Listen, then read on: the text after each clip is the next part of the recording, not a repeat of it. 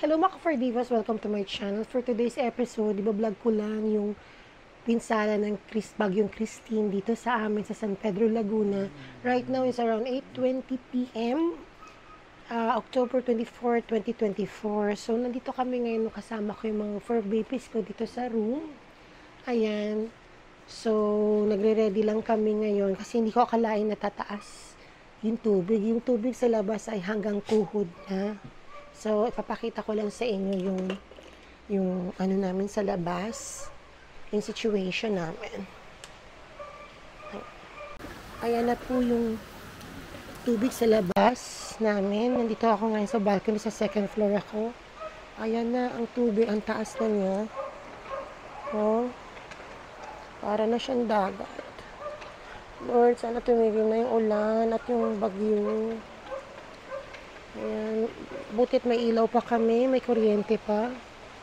Naawa lang ako sa mga mabababang lugar. At wala po silang second floor, no? Sana okay naman sila. Dito kami mga for babies ko at sumisilip sila kung ano nangyayari sa labas. Okay. Ayan, anak. Yung balcony natin. Hmm gusto lang dagat na to. Asin mo yan.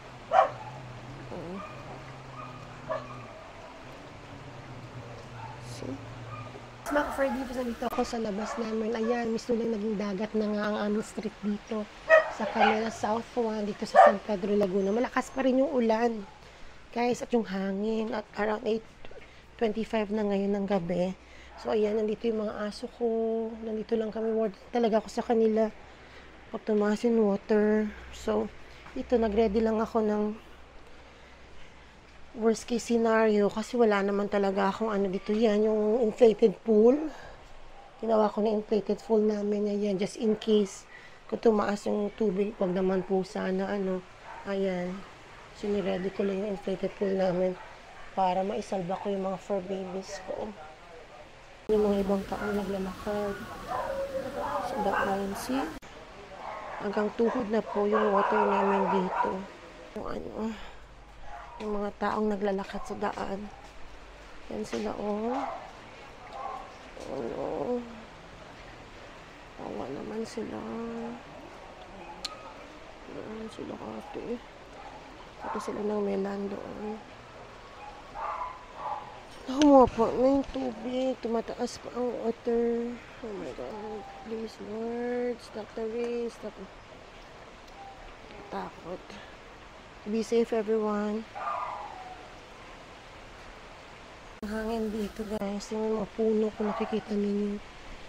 Eh, ganun pa rin. Ang lakas ng hangin. Trees over there. Ayun. Yung puno. Ayun. Lakas pa rin yung hangin. Ano mo panik ko ano baha so scary guys. Yes guys. It's mga fur divas ito kasama ko yung mga fur babies ko. Yun lang naman yung inaano ko. Wino-worry ko kasi wag sana umakit pa yung yung water, di ba? Sana mag-subside na yung flood. Kasi, nandito kami mag-anak, kami mga fur babies ko. Ayan, inano ko muna yung yung kasi tinatapakan niya. So, wet kasi dito sa ano eh, sa sa bahay namin. Yung floor is wet. So, yung mga yung mga mattress, ano, ano ba tawag doon? Cushion. Cushion sa bed. Eh, nakyat ko muna kasi lagyan ko muna ng karton ito mga bed kasi umaakit panaog yung mga books ko. So, wala ang dry ano dito sa floor and natulog pa yung iba dito. Sobrang lakas ng ng ulan na, the, ng bagyong Christine dito. Eh ayun basa floor cat linisin mo eh tuloy-tuloy pa rin yung ulan. So yun. Yun safe naman kami so far. And we hope and pray na sana mag-subside na yung yung ulan kasi para hindi hindi maabutan yung sasakyan sa baba. Kasi hindi ko siya ma-power kanina around 4 o'clock pinapower ko na, pinapaandar ko sa sasakyan kasi hindi ko siya ginagamit all the time. Siguro na-discarrel na naman ulit yung baterya. So, hindi ako nakapag-park sa medyo mataas na lugar. So, mas delikado naman kung titirik ako sa gitna ng daan at may baha. So, siguro dito na lang din. Sana lang hindi lang umu sana hindi lang maano yung sasakyan maabutan ng baha. So, yun. Nakita niyo naman sa CCTV namin. Dito, ayan. Yung kotse. Ayan yung kotse. Yan pala, sorry. Ayan yung kotse. So, lagi ko chinecheck yung CCTV namin. Nandun yung kotse. At di pa naman so far so good eh hindi pa ganun kataas yung baha. So, sana mag-subside na lagi ko yung tabayan na every minute yung nangyayari dito sa aming lugar, dito sa, sa, sa lunsod ng San Pedro Laguna. So, yun. Sana keep safe everyone. God bless. Yes, maka Ferdy, nag-ready lang ako ng mga kandila just in case, no, mag-brown out. Ayan, nag-ready rin ako ng kandila just in case. At saka, nag-ipon ako ng tubig. Nag-impok ako ng water namin kasi just in case baka mawalan ng ilaw. Syempre, automatic na yan. Ay, wal mawawalan din ng tubig. So, ayan, nagano ako ng water dito sa washing machine. Sa mga, ano namin yan, nag-ipon lang din ako ng, ng tubig.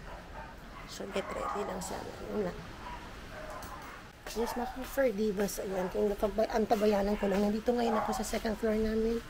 Sa balcony namin, ayan yung mga tao. Naglalakad. Sabi ko, ano, ano, wala silang choice kasi kung umuwi sa kanilang pamilya, you safe guys.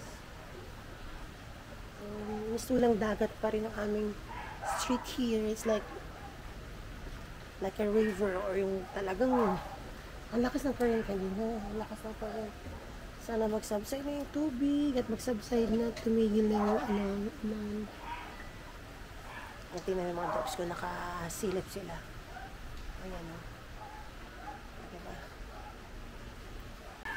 Ayan yung mga ayan ang mga chismosa kong mga fur babies. Ayan. They're looking at what's going on outside. Baka nagtataka sila, why is it?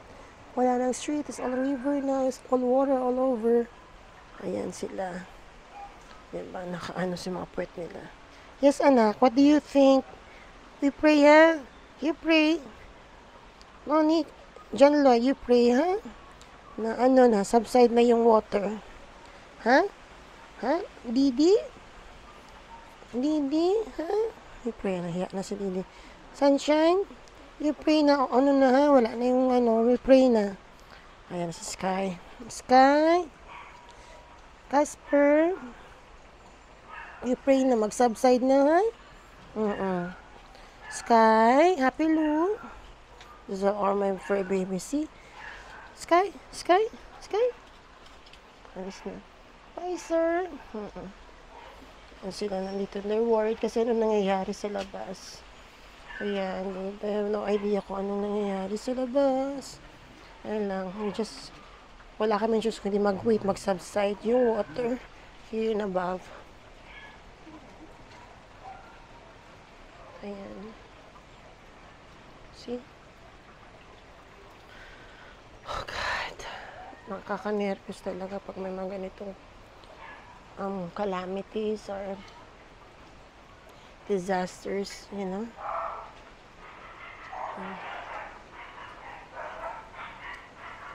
Alam nyo guys, napraning talaga ako kanina. So, nag-prepare ako ng go bag ko.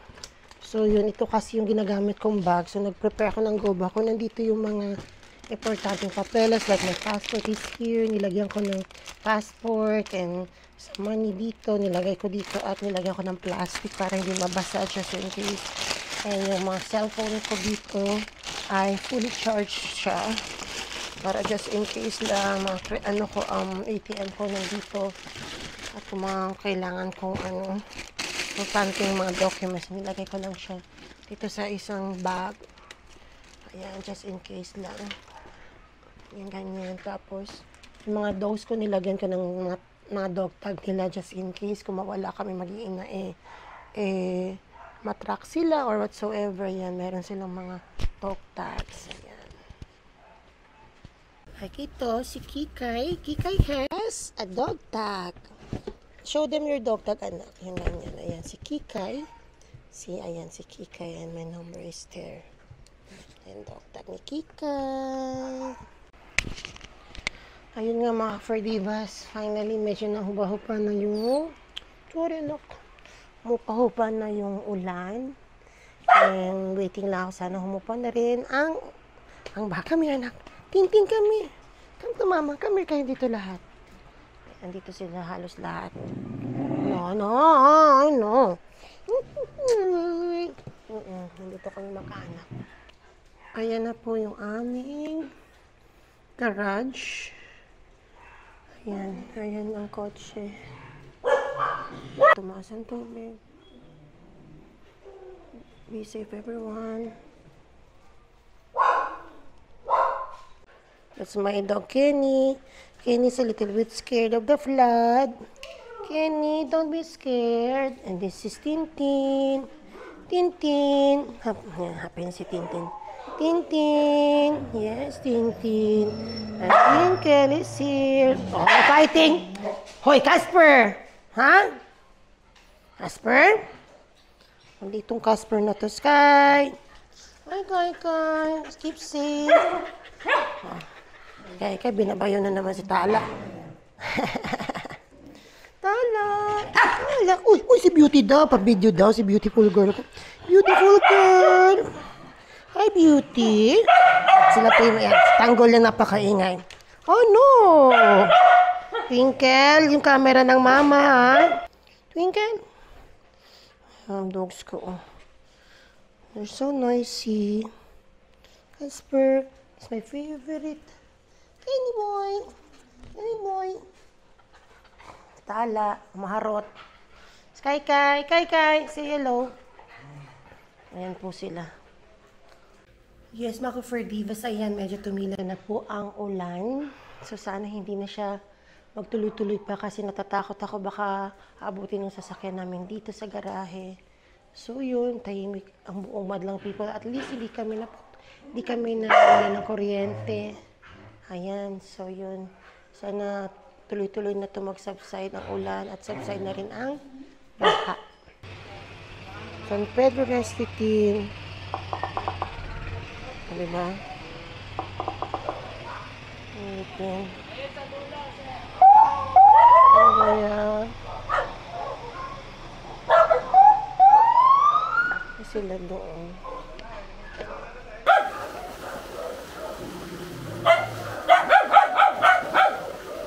Rescue team natin.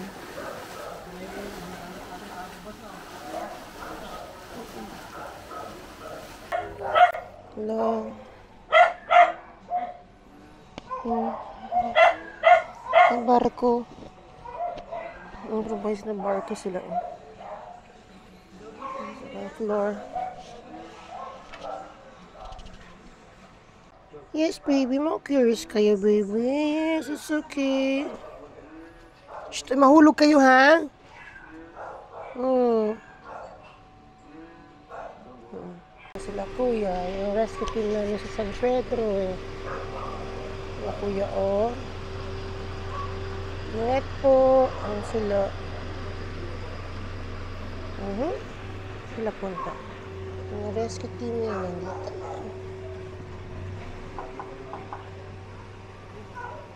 the next day.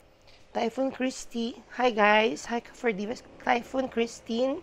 Aftermath. Ito na po ang nangyari sa labas. I'm on the second floor. Ayan. Ang mga neighbors namin naglilinis na ng kanilang mga garay harapan ng bahay nila.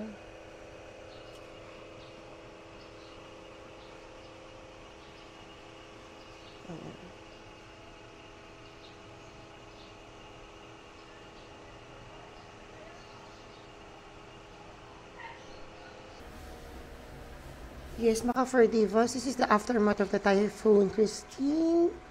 Is our garage na. Ayan na, subside na yung yung flood and this it's too muddy outside. Buti na lang naglagay kami ng ng sandbag doon, mga sako-sako para hindi ganun ka kaano ang kalalim yung water pagpasok dito sa sa garage namin kasi nga yung kotse ang inaalala namin. Ayan, so yun lang, hanggang gulong lang naman ang naanuhan. Muddy, so ayun. Thank God we're all alive and safe here in San Pedro Laguna from the Typhoon Christine. Stay safe everyone. Ayan. Lilinis muna tayo. Yes, mga Ferdivas, we're safe here in home. We're safe here after Typhoon Christine hit our town here in San Pedro Laguna. Safe naman lahat. Dito, and my fur babies ko safe. And that's the most important thing, safe kami. And and take care everyone kung saan man kayo. Sana ay safe kayo lahat. And yes, I hope to see you on the next one. God bless everyone and stay safe.